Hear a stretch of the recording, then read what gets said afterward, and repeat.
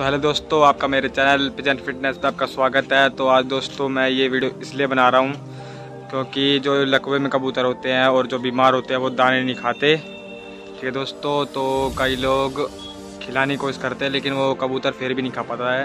ठीक है, क्योंकि लोगों को तरीका नहीं पता होता ढंग से। ठीक है दोस्तों तो मैं आपको अभी तरीका बताऊँगा बढ़िया खिलाने का, एकदम पेट भर के, एकदम फुल। ठीक है दोस्तों तो जैसे कि वो कबूत उन कबूतरों को खिलाया जाता है। जैसे किसी को लकवा लग रहा हो या बीमार हो या सोखे में हो दाने ना खा रहा हो कोई सी बीमारी हो वो दाने नहीं खा, खाता ठीक है दोस्तों।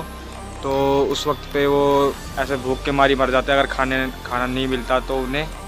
तो दोस्तों मैं ये तरीका बताऊँगा खिलाने का ठीक है दोस्तों। मैंने ऐसे दो कबूतर पाले हैं। देखो बोरा लकवे में वो वाला देखो दोस्तों कैसे गर्दन हिला रहा है। तो देखो वहाँ है।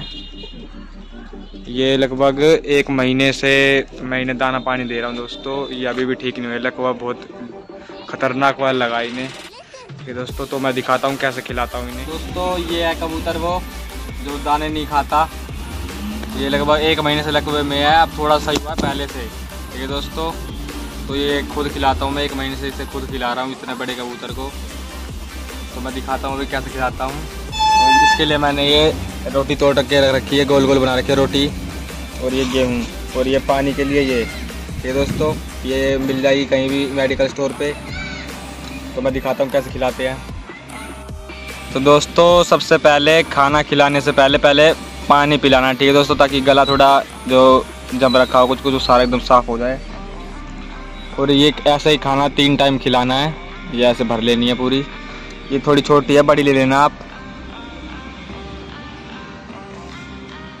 दोस्तों देखो जब आप इसका मुँह खोले तो कई लोग यूँ करते कि यूँ पी, पीता नहीं आधे ज़्यादा गिर जाता है ठीक है दोस्तों? तो पहले ऐसे करके खोलना है फिर उंगली थोड़ी सी फंसा लेनी है ऐसे जैसे फंसा रखी मैंने फिर यूँ करके यूँ। दोस्तों पी लिया कहीं से भी थोड़ा सा भी नहीं गिरा पानी ठीक है ऐसे खिलाए करो। तो मैं दाने भी ऐसे खिलाता हूँ। जैसे मैं कर रहा हूँ वैसे करना दोस्तों ठीक है। ऐसे ही करना है ऐसे खोलनी है चोच और ये उंगली फंसा लेनी है, ये वाली। ये वाली उंगली फंसा लेनी है, यूँ करके चोच के दोनों साइड और ऐसे गिर देना है। ये ऐसे खा जाएगा। बिल्कुल आसान तरीका है खिलाने का।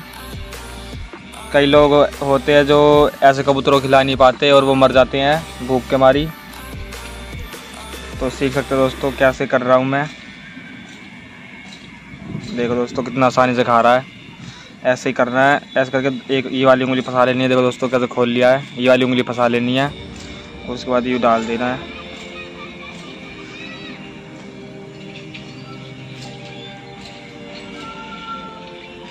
तो मैं अब आपको गेहूँ खिला के दिखाऊँगा। तो दोस्तों, ये है गेहूँ। रोटी मैंने खिला दिया देखो, देख सकते हो दोस्तों, ये रहा।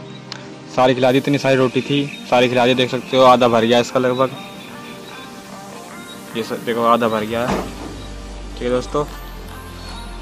तो एक एक बात ध्यान रखना, अगर आप रोटी खिला रहे हो तो रोटी जब आप दो तीन बार जैसे डाल दिया अपने मुँह में तो इसे, ये आधी भर के, लगभग इतनी भर के एक एक दो दो घूट पिलानी है, ताकि ये रोटी गले से उतर जाए, क्योंकि वो फंस जाती है गले में। ठीक है, दोस्तों। तो अब मैं आपको गेहूँ दिखाता हूँ, खिला के कैसे खिलाते हैं, क्योंकि कई लोग गेहूँ खिला नहीं पाते, कई लोग तो एक एक करके गेहूँ खिलाते हैं। मैं अभी दिखाता हूँ एक साथ इतने सारे गेहूँ दे, दे के दिखाता हूँ दोस्तों ठीक है? वैसे ही देना जैसे मैंने अभी अभी दिखाया था कैसे खिला रहा था मैं वैसे ही देना है। तो दिखाता हूँ। ऐसे ही करना दोस्तों ऐसे खोल लेना मुँह इतना बड़ा और उंगली अलझा लेनी है इसके बीच में। नाखून नहीं आना चाहिए दोस्तों ठीक है? और ऐसे करके और इतना सारा गेहूँ तो मुँह में थोड़ा मोड़ा गिरेगा भी। देखिए दोस्तों एकदम भर भर के डाल रहा हूँ मुँह में।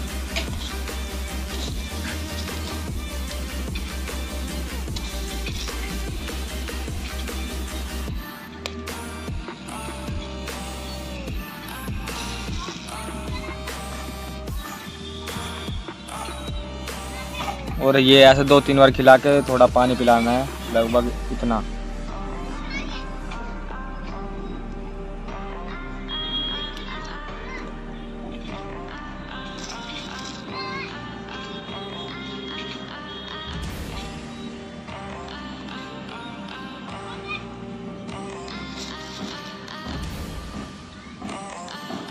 तीन चार बार में ऐसे इसका बढ़िया से पेट भर जाएगा। और खिलाने के बाद दो बार दो बार पूरा भर के पिलाना है ये। मैं अभी आपको दिखाता हूँ। कैसे पिलाना है, पहले खिला दूँगी। दोस्तों, मैंने सारा खिला दिया लगभग इसे। ठीक है, देख सकते हो, भर गया है। और आपको ये रोटी और ये गेहूँ खिलाने के बाद लगभग कुछ भी खिला रहे हो दोस्तों, सब, सबसे आसान होता है चना, चन, चने खिलाना। अगर आप चने भिगा दो और शाम को लगभग बीस चने दो, इसको बीस चने और थोड़ा गेहूँ या रोटी। ठीक है दोस्तों भर देना आराम से नहीं बल्कि आसान होगा खिलाना, क्योंकि जल्दी भरेगा और टाइम भी लगेगा टाइम भी वेस्ट नहीं होगा आपका। और अब ऐसे खाना खिलाने के बाद लगभग दो भर भर के पिलानी है, ठीक है? अगर आपके पास इससे बड़ी वाली है, मोटी वाली है तो वो एक ही बहुत है, ये बहुत छोटे से मैं दो पिलाता हूँ। क्योंकि ये बीच बीच में भी मैं दे रहा था पानी से।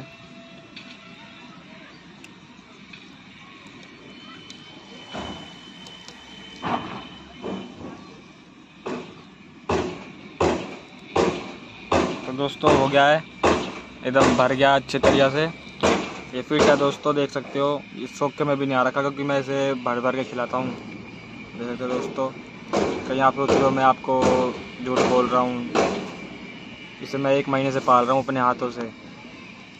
तो दोस्तों, आपको ये वीडियो अच्छी लगी होगी तो लाइक कर देना, कमेंट कर देना मिलते अगली वीडियो में।